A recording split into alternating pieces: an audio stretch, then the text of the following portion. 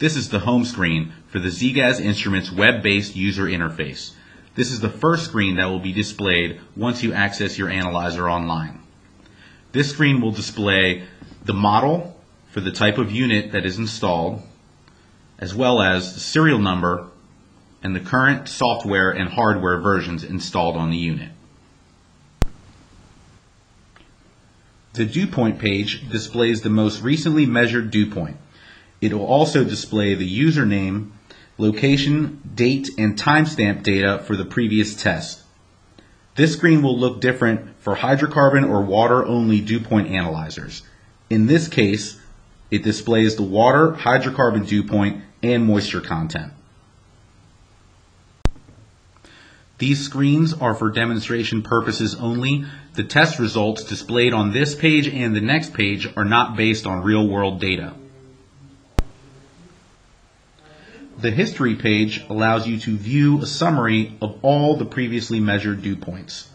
The arrows on the side will help you navigate through the data to find previous dew points. You may also download the test reports to your PC or view them in the browser.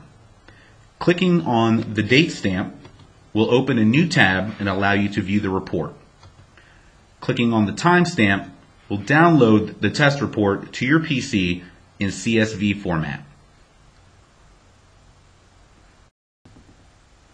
As you can see here, the summaries are organized into columns displaying your hydrocarbon temperature and pressure, your water temperature and pressure, as well as your moisture content. This is the operations page. This page will display the current test cycle as well as the associated running data for that test.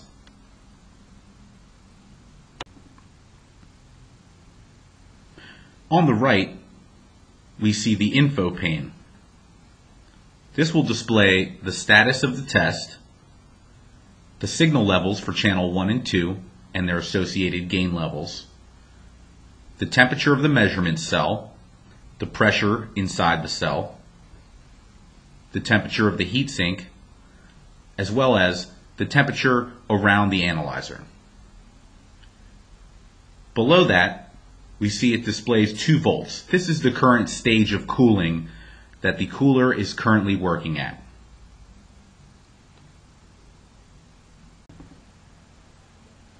In the graph, we see a visual representation of the data on the right.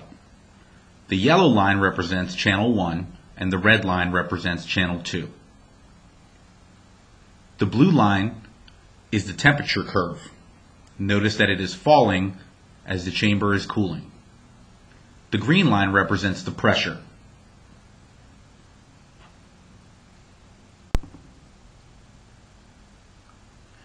This test has found a hydrocarbon dew point.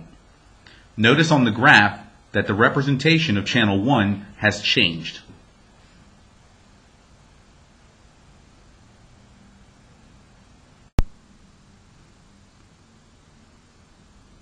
Notice that the test is still running and we are at 12 volts of cooling.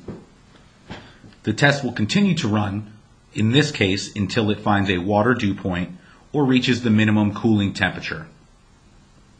Once the test has ended, the data will be logged into the dew point and history pages.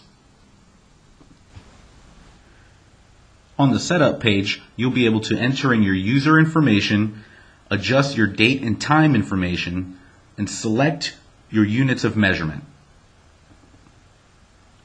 You will also be able to adjust your Modbus settings as well as increase the wait time in between cycles.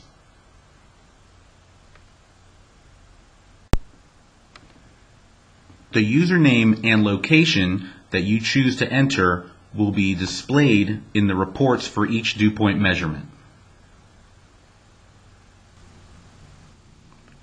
The output page is where you can set your scaling for your 4 to 20 milliamp analog outputs. You can set the scaling for temperature, pressure, and moisture. You may also set your dew point minimum temperature. This is the temperature you wish the analyzer to cool down to. The lowest temperature is negative 30.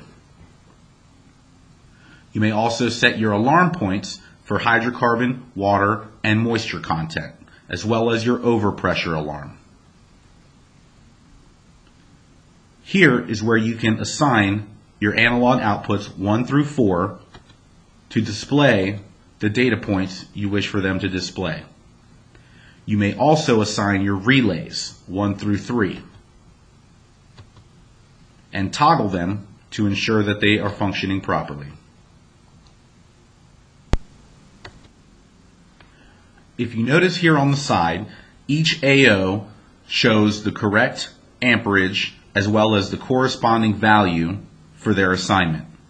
If you wish to fine tune the output, you click on the Integrate button. This will load the calibration table for the analog outputs. If you click on the 4 milliamp, analog output 1 will now show 4 milliamps at the output.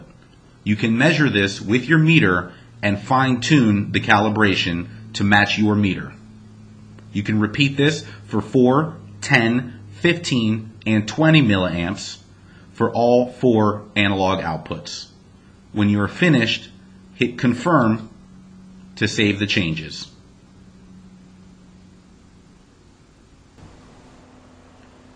The logs page displays all changes made to the software by the user, as well as any alarms that may have been triggered. Everything on this page is date and time stamped.